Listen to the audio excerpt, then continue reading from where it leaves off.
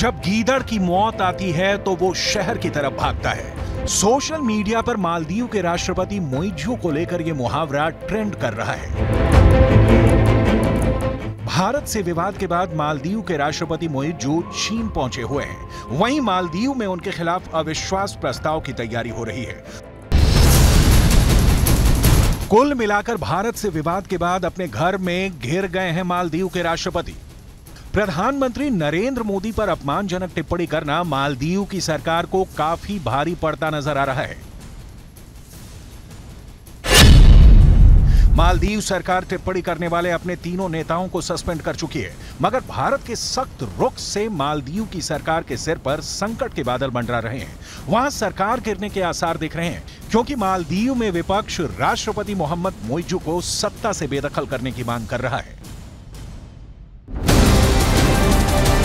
मालदीव के सांसद अली अजीम ने सोशल मीडिया प्लेटफॉर्म एक्स पर सरेआम सरकार के खिलाफ अविश्वास प्रस्ताव लाने की मांग की है। उन्होंने लिखा कि मालदीव के राष्ट्रपति मोहम्मद मोइजू को उनके पद से हटाने के लिए कदम उठाए जाने चाहिए। यानी भारत विरोधी कदम उठाकर मालदीव की सरकार ही खतरे में पड़ गई है।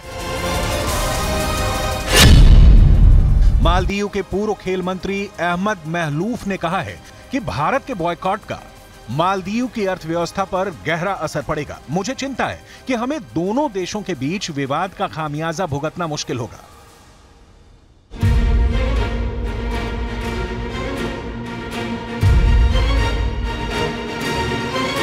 इसकी वजह विवाद के बाद से दो दशक में ऐसा पहली बार हुआ है जब लक्षद्वीप को गूगल पर सबसे ज़्यादा सर्च किया गया है। सोशल मीडिया पर लक्षद्वीप पूरी दुनिया में ट्रेंड कर रहा है। प्रधानमंत्री मोदी के लक्षद्वीप जाने के बाद पूरी दुनिया में लोग लक्षद्वीप को सर्च कर रहे हैं।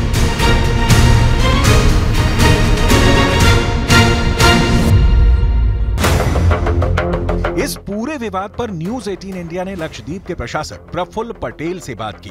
उन्होंने लक्षद्वीप का दौरा करने के लिए प्रधानमंत्री की जमकर तारीफ़ तो की ही। ये भी कहा कि लक्षद्वीप पर्यटकों का स्वागत करने के लिए तैयार है।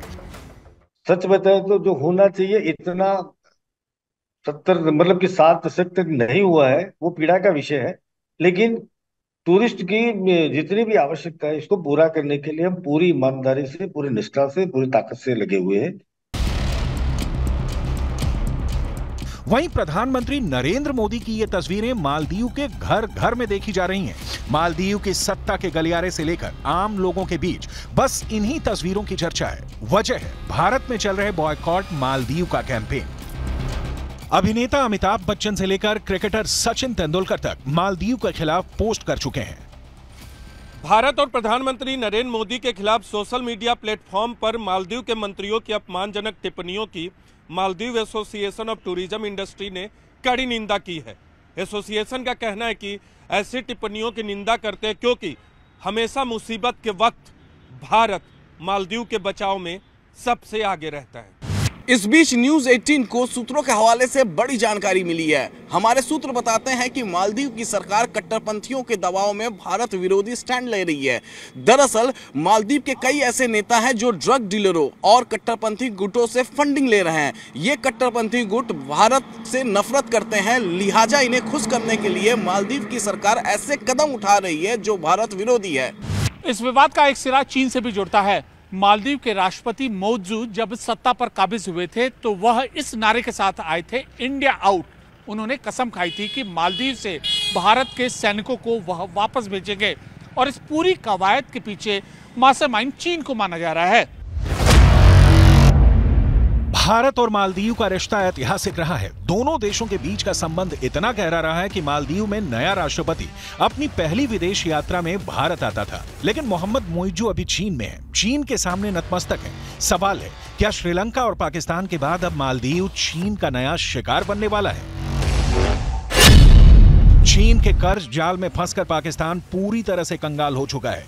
चीन के कर्ज जाल में फंसकर श्रीलंका आर्थिक तौर पर बर्बाद हो चुका है और अब उसी राह पर मालदीव है। कर्ज का दाना फेंक कर कैसे मालदीव को भी ड्रैगन अपने खूनी जबड़े में फंसाने की तैयारी में है? इसका कच्चा चिट्ठा हम आगे खोलेंगे। उससे पहले आइए ये जानते हैं कि कैसे मालदीव में कट्टरपंथियों का दबदबा बढ़ता जा रहा है। न्यूज़ एटीन की इन्वेस्टिगेशन में मालदीव के बारे में बड़ा पर्दाफाश हुआ है। खुफिया रिपोर्ट्स के मुताबिक, मालदीव की बनी नई सरकार और यहाँ के राष्ट्रपति कट्टरपंथियों के हाथों की कठपुतली बन चुके हैं और बैकडोर से सरकार पर पूरा कंट्रोल इन्हीं कट्टरपंथियों का है। ये रिपोर्ट सामने आई है कि मालदीव के राष्ट्रपति ने कट्टरपंथी संगठनों से ये वादा किया था कि वो हर हाल में भारत को मालदीव से आउट करके ही दम लेंगे। और इसी एजेंडे को पूरा करने के लिए मालदीव की जेलों के ज़रिए आतंकियों और ड्रग तस्करों का नेटवर्क मज़बूत किया गया है। अब जो जानकारी आप तक पहुँचाने जा रहे हैं, वो बेहद खास है। बहुत अहम जानकारी। न्यूज़ 18 इंडिया को सूत्रों से मालूम चला है कि बीते कुछ साल में, बड़ी तादाद में, बड़ी संख्या में मालदीव से युवा सीरिया में आतंकी संगठन आईएसआईएस में शामिल हो रहे हैं। इतना ही नहीं, कट्टरपंथियों के गुट मालदीव के राजनीतिक दलों को पैसे तक पहुंचाते हैं और साथ ही साथ मालदीव के राष्ट्रपति मोहम्मद मुइजू के इन कट्टरपंथियों से रिश्ते भी हैं। ये बहुत बड़ा खुलासा है सूत्रों के हवाले से। और इस वजह से वहाँ की सरकार उन कट्टरपंथियों के इशारे पर काम भी कर रही है। आगे बढ़ते हैं। ये कट्टरपंथी मालदीव को एक कट्टर मुस्लिम देश बनाना चाहते हैं, इसलिए वो भारत के खिलाफ खड़े हैं, जबकि भारत और मालदीव की दोस्ती काफ़ी पुरानी रही है। मालदीव के अंदर एंटी इंडिया प्रोपगंडा और वहाँ आतंक को बढ़ाने में चीन का भी हाथ बताया जा रहा है। क्योंकि दुनिया जानती है कि चीन के उकसावे पर मालदीव के मंत्रियों ने भारत विरोधी ट्वीट किया। और जब मालदीव को लगा कि उनका दांव उल्टा पड़ गया है तो मालदीव के राष्ट्रपति मोहम्मद मोइजू सीधे चीन के पैरों में नाक रगड़ने के लिए पहुँच गए हैं। पिछले कुछ वर्षों में मालदीव ने चीन से भारी कर्ज लिया है। आंकड़ों के मुताबिक, फ़िलहाल मालदीव की जीडीपी का करीब 6.5 बिलियन अमेरिकी डॉलर है। जबकि मालदीव के बजट का करीब 10 फ़ीसदी हिस्सा चीन का कर्ज चुकाने में चला जाता है। भविष्य में अगर कर्ज समय पर नहीं वापस हुए तो मालदीव के आइलैंड भी चीन के हाथों में जा सकते हैं। वहीं 2023 में मालदीव आने वाले चीनी पर्यटकों की तादाद में अचानक से तेज़ी देखने को मिली है। 2022 में मालदीव पहुँचने वाले टूरिस्टों में चाइनीज़ 27वें नंबर पर थे। जो 2023 में अचानक से तीसरे नंबर पर पहुँच गए चीन हमेशा जिनके साथ डील करता है, उन्हें बर्बाद करके छोड़ता है। भारत के साथ तनाव का चीन पूरा फ़ायदा उठाना चाहता है। इसलिए मोइजू के समर्थन में चीन ने उनकी यात्रा को मालदीव के हितों से जुड़ा बताया है। लेकिन पूरी दुनिया जानती है कि अगर भारत के लोगों ने मालदीव से मुँह मोड़ लिया तो उसका बैंड बच जाएगा। मालदीव की अर्थव्यवस्था में पर्यटन की हिस्सेदारी बहुत अधिक है। वहाँ जीडीपी का करीब 28 प्रतिशत हिस्सा टूरिज़्म का है और आंकड़े बताते हैं कि मालदीव की सैर करने के लिए सबसे अधिक सैलानी भारत से ही जाते हैं।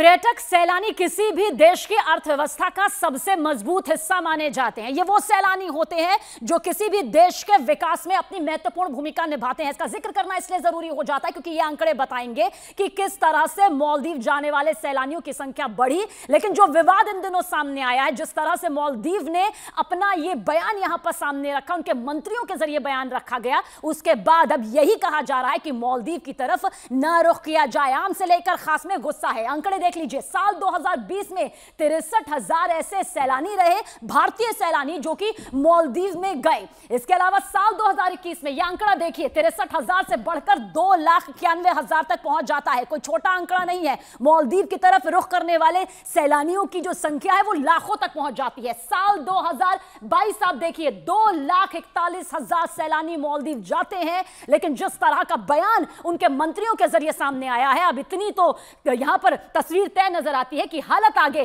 खस्ता हो सकती है। अब साल 2023 यानी कि जो गया हुआ साल है, उसमें देखिए दो लाख नौ हज़ार एक सौ अट्ठानवे जो सैलानी है, वो मालदीव की तरफ़ रुख करते हैं, भारत की तरफ़ से। लेकिन अब ये पूरा विवाद जो सामने है, इसका खामियाजा मालदीव को, उसकी अर्थव्यवस्था को पर्यटन के लिहाज से भुगतना पड़ेगा। ऐसे में अगर भारत मुँह फेरता है या भारत के लोग यहाँ जाना बंद कर दें तो मालदीव में आर्थिक संकट गहरा हो जाएगा। इसका मालदीव को आर्थिक तौर पर भारी नुकसान उठाना पड़ेगा। रही बात, भारत के साथ मालदीव के व्यापार की। तो साल 2023 में भारत ने मालदीव से जहाँ इकतालीस दशमलव शून्य दो करोड़ डॉलर का निर्यात किया था, वहीं इकसठ दशमलव नौ लाख डॉलर का आयात किया था। 2022 में निर्यात का आंकड़ा उनचास दशमलव पाँच चार करोड़ डॉलर का था, जबकि आयात का आंकड़ा इकसठ दशमलव नौ लाख डॉलर का था। मालदीव की अर्थव्यवस्था में भारत का बड़ा योगदान है और कई चीज़ों को लेकर वो पूरी तरह से भारत पर निर्भर है। लेकिन मालदीव में चीन समर्थित सरकार के सत्ता में आने के बाद से भारत के साथ उसके रिश्तों में काफ़ी तनाव आ गया है। आइए अब आपको तफसील से बताते हैं कि ये पूरा मसला है क्या और आखिर शुरू कैसे हुआ। दरअसल प्रधानमंत्री नरेंद्र मोदी लक्षद्वीप के दौरे पर जाते हैं और वहाँ से अपनी एक शानदार तस्वीरें जो हैं, वो यहाँ पर उनके ज़रिए भारत के लोगों के लिए साझा की जाती है कि देखिए लक्षद्वीप आखिर कितना खूबसूरत है, कितनी भव्यता अपने में लिए हुए है। पीएम मोदी की तस्वीरों ने लक्षद्वीप के मालदीव से बेहतर होने की जो चर्चा है, वो वहाँ पर तेज हो जाती है। यानी कि लोग आपस में इस बात को लेकर चर्चा करने लग जाते हैं कि मालदीव से भी ज़्यादा खूबसूरत देखिए किस तरह से लक्षद्वीप है। मंत्री मरियम शुना ने प्रधानमंत्री नरेंद्र मोदी पर आपत्तिजनक इसको, इस तस्वीर को देखने के बाद वो कर देती है। उनकी तरफ़ से ट्वीट आता है, जिसके बाद घमासान यहाँ पर मच जाता है। और मंत्री मालशा शरीफ ने भी प्रधानमंत्री नरेंद्र मोदी पर अपमानजनक पोस्ट यहाँ पर उनके ज़रिए भी कर दिया जाता है। मंत्री अब्दुल्ला मेजूम माजिद ने भी भारत का मज़ाक इस तस्वीर के सामने आने के बाद उड़ाया, जिसके बाद यह पूरा विवाद पूरी तरह से यहाँ पर फैल जाता है। और देखिए, भारत की तरफ़ से कदम जो उठाए जाते हैं, उसके बाद मालदीव जो है, वो यहाँ पर झुका नज़र आता है। अपने तीनों ही डेप्यूटी मंत्रियों को उनके ज़रिए बर्खास्त कर दिया जाता है, निष्कासित कर दिया जाता है। विवाद बेकाबू होता नज़र आया। तो डैमेज कंट्रोल के लिए मालदीव सरकार ने अपने तीनों मंत्रियों को सस्पेंड कर दिया। लेकिन भारत विरोध के खिलाफ मालदीव में हंगामा ऐसे बरपा है कि अब बात मालदीव के राष्ट्रपति के खिलाफ अविश्वास प्रस्ताव तक पहुँच गई है।